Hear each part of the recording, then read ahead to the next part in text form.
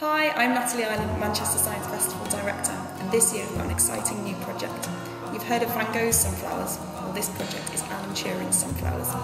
Uh, spirals of seed heads in a sunflower, you find 34 or 55 of those. So he saw these patterns of numbers in plants. That's right.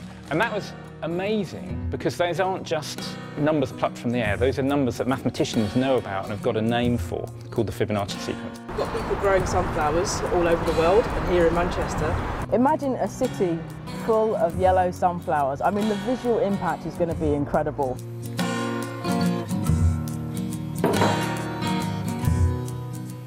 And that's it. Now you're ready to grow a Turing sunflower.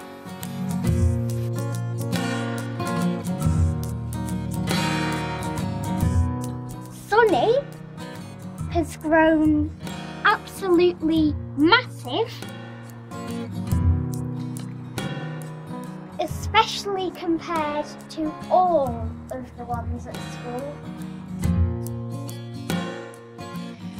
These are sunflowers, six or more, growing outside our front door.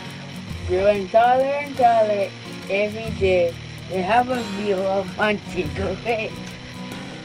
We are glad to be part of Alan Turing's fun from Jamaica, our home in the sun.